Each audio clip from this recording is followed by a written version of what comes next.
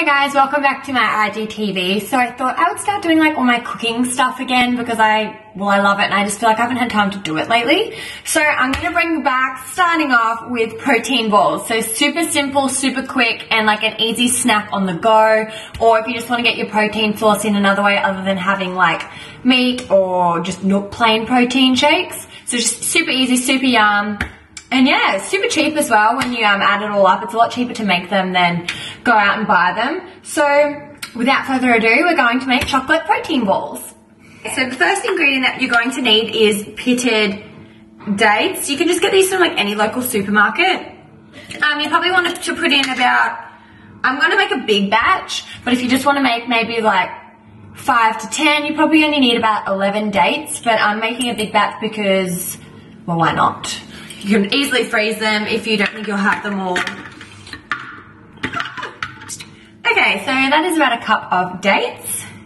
The next ingredient we're going to add is chia seeds. So again, you can just get these from a health food store or like your local supermarket. I'm gonna add two tablespoons of chia seeds into the mixture. These are a really good source of fiber. And I also have protein in them as well and omega-3s. One, two. Next, I'm going to add my um, WPI protein. I get this from ASN. I will leave a discount code in the description. I've had this one now. I've had the this. Ah! Okay, words come to my head. Um.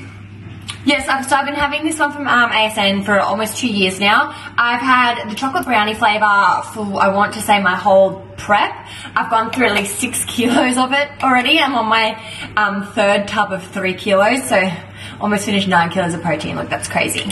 This is two scoops I've measured out and put into this jar. So chocolate protein for the chocolate protein balls. If you want to make a different flavour protein ball, I do suggest using a different flavour. Going to add some almonds. So I don't have much left, sadly, but I probably will add some more to the mixture before I blend. I just need to go find them. So you probably want um, like a quarter cup of almonds. If you can't eat nuts, um, you can just leave them out. You could put in um, some dried fruit if you'd like just like that crunchy taste or any other nut that you might have lying around. Next, we're going to add coconut oil. So this is um, not the liquid, it's like dry. Um, it helps mold everything together. I'm going to add one heaped spoonful of it to the mixture. This will help when they're trying to set because it will freeze it all together. It's also a good source of fat. And then to finish off, I'm going to add this co cocoa, like original coconut and cacao, um, like paste. It's sort of like Nutella, but the healthier version. So you could add Nutella if you'd like. Um, you don't have to add it to something extra I'm adding. You so with this, I'm just going to add a teaspoon just to give it a little bit more flavor. Um, I would add rice malt syrup or honey instead of this as well to give it um, that sweet taste, but I don't have any in the house. So, um, healthy Nutella it is. So now all we're going to do now, guys, is blend it up and see how thick or like watery it is and then add it on there. I kind of like to just play around with it and see how we go.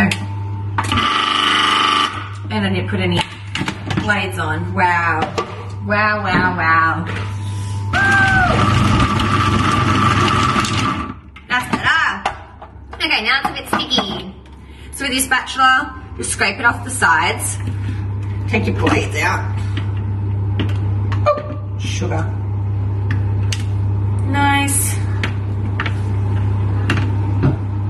then you're just going to scrape the sides so that nothing is stuck to the walls. Get it all in there. So an option for these, if you have like coconut flakes or if you have some like shredded nuts, you can cover them with the protein balls. But like i said at the beginning, this is super quick and simple. It's literally everything I just have in the cupboard lying around, all the extras that I needed to get rid of. And then, roll them into balls. Oh my god, you guys, these are so freaking good. I just want to eat it all. It literally just tastes like chocolate mud cake. Like, Wow. And you know what sucks? I'm making these, but I actually can't eat them because they're not a part of my meal plan, like, at all. So really, I'm just hurting myself. And I love these so much. Yum. Actually, you know what it tastes like? Like, like a chocolate scone. Oh. Like from Baker's Delight. You guys, you've ever had that, this is what it tastes like. I'm gonna call them chocolate scone balls. So there you have it guys, I've made my protein balls. So if you have a bit of like a sugar craving or a chocolate craving, I would definitely recommend making these. Um, probably make, don't make them as big as I have made them so that they last longer. But I'll probably make another batch now. It took me about five minutes and I could probably eat these right now. Like I, well I could. I'm put them in the fridge for about five minutes and they'll taste so much better. They'll be that, that nice cold and oh, so good. Yeah, there you have it, chocolate protein balls.